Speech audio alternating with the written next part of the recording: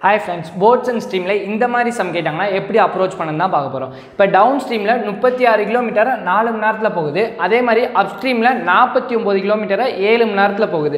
இப்போ அவங்க கேட்குறாங்கன்னா ஸ்பீட் ஆஃப் த கரண்ட் வந்து கேட்குறாங்க வி கேட்குறாங்க வி பார்த்தீங்கன்னா one by two down stream speed minus up stream speed ஓகேவா இப்போ டவுன் ஸ்ட்ரீம் ஸ்பீடு முதல் நம்மளுக்கு தெரியும் speed equal to distance by time முப்பத்தி ஆறு டிவைடட் பை நாலு ஒன்பது.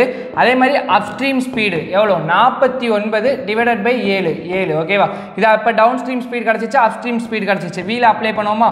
One by two nine minus seven is equal to one by two is equal to two cancel பண்ணால் ஒன்று ஓகேவா ஒன்று தான் இதோட ஆன்சர் இதே மாதிரி உங்களுக்கு ஒரு சம் ஹோம்ஒர்க் கொடுத்துருக்கேன். இதை சால்வ் பண்ணி ஆன்சரை கமெண்ட் பண்ணுங்கள் தேங்க்யூ